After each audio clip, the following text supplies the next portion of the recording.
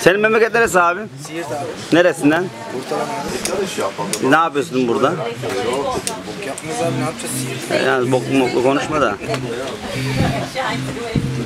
Yapıyorsun abi? Ne yapıyorsun? Fotoğraf çekeceksin ne bekliyorsun? Bir şey yapacağız. Çek çek sen çek hadi canım. Video yani. Şey de- demek ki başka bir bildiğin kısa bir hikayen var mı? Var. Anlat.